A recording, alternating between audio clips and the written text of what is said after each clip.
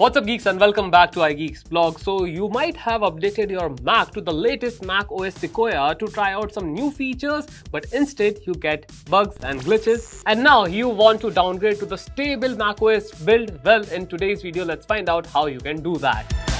So basically there are three methods we can use to downgrade Mac OS. But first I would like to suggest that you take a manual backup of your files, folders and photos because these methods will of course clear all your storage on your Mac and then we will gonna install older Mac OS on it. So once you have taken the backup, now let's start with the first method and that is downgrading Mac OS using Time Machine. Well, this is the most easiest way to downgrade Mac OS on your Mac, but the only thing you need to keep in mind is that you will require a backup with Time Machine of your previous OS. Otherwise, if you don't have any backup, you can skip this method and try something else. So first you need to connect your time machine drive to the Mac, restart the Mac and boot into startup option window and to do that you would require to press and hold command plus R if you have Intel based Mac or you can simply keep pressing the power button on Apple Silicon Macs. Now select options and continue. In Mac OS utilities, select restore from time machine backup and click continue. Choose continue again Select the time machine drive as the restore source, select the backup and just follow on-screen instructions. And just like that, you have successfully downgraded your Mac. And now let's talk about our second method and that is using a bootable drive. Okay, so this is an alternative way in which you need to create a bootable drive using a Mac OS you want to downgrade on. So first and foremost, you need to open the browser on your Mac and search for that particular Mac OS you want to downgrade to with App Store in it. So for now, let's search Sonoma App Store.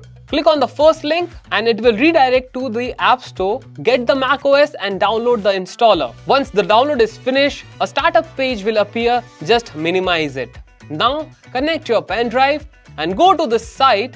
I will give the link of this site in the description so make sure you check it out and copy the command for your Mac OS you want to downgrade to. Now you need to rename the pen drive to my volume, M capital, V capital Otherwise, you need to change the command with your pen drive name. I would recommend that you change the name of the pen drive instead of changing the command itself because the chances of error will increase if you change the command. So just change the name of the pen drive. Open terminal and paste the command you have just copied from the site. Press enter and now it will ask you for the admin password. Just input it and press enter one more time. And now it will start to create a bootable drive with that macOS you have downloaded. So once the bootable drive is ready, now it's time to flash it on your Mac. But First, you need to boot your Mac into startup option windows and make sure that the bootable drive is connected to your Mac. Startup option window will show your bootable volumes including the bootable installer.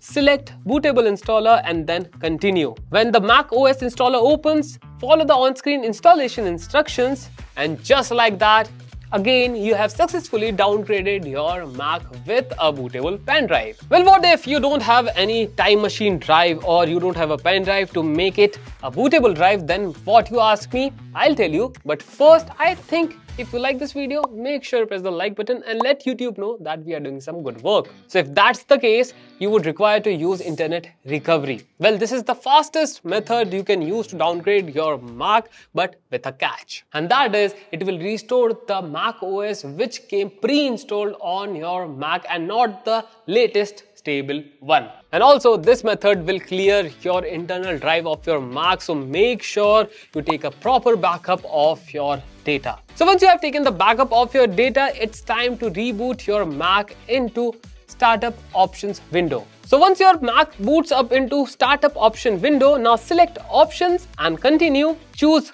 disk utility and continue. Under internal section, select Macintosh HD volumes and click on erase. Give a name to your volume according to your preferences and keep the format to APSF and select erase and again erase Mac. And lastly, it will ask you to erase and restart, just click on it. Doing this will clear each and everything from your internal storage of your Mac. And now it's time to install the OG Mac OS which came pre-installed on your Mac. So once your Mac restart, it will ask you to connect to a Wi-Fi, do that and select exit recovery. And now you will have the option of reinstall macOS select and continue. Just follow the on-screen instructions and just like that you have successfully downgraded your Mac with the third method. And with all these three methods, you can downgrade your Mac and of course, you can just save yourself from bugs and glitches present in the latest Sequoia beta. And if you're facing any problem, do let me know in the comments section and I will answer you for sure. And while you're down there, make sure you subscribe to the channel, press the bell icon so that you get notified on each and every video we post